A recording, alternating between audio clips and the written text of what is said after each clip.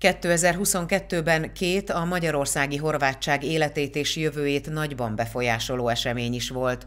Az egyik az országgyűlési választás, a másik pedig a népszámlálás. Előző eredményeként ismét sikerült legitimitást adni a horvát parlamenti szószólónak, a népszámlálás adatainak feldolgozása után pedig akár új kisebbségi önkormányzatok is létrejöhetnek. Az év vége tartogatott pozitív és negatív meglepetéseket is. Energiaárak elszállása miatt, hogy úgy mondjam, ez komoly kihívást jelentett az intézményeink számára, de az évet sikerült lezárnunk.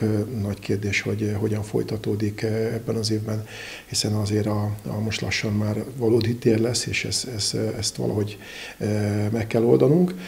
Az év vége ugyanakkor meg azért szép is volt, hiszen a, azt gondolom, hogy a horvát közösség tagja, és ott ültek a, a képernyők el, és szurkoltak a horvát labdarúgó válogatottnak. A 2023-as év egy történelmi eseménnyel indult, ugyanis Horvátország január 1-én 20. országként csatlakozott az euróövezethez, valamint a Schengeni övezet teljes jogú tagjává vált. Ez nagyon sokat számíthat szerintem a, a környező, a határmentélő településeknek, akár gazdaságilag is.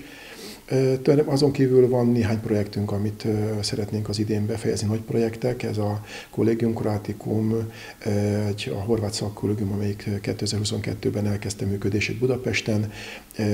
Itt a, a Budapécsi telephely az, az most szeptemberben indulna, hogyha a terveink megvalósulnak, az épületet kell még befejezni, és azt gondolom, ez nyáron sikerül is. A módszertani központon kívül a Gradiscsei horvátok gimnáziumi oktatása is elindulhat, valamint a budapesti székhely felújítása is folyamatban van.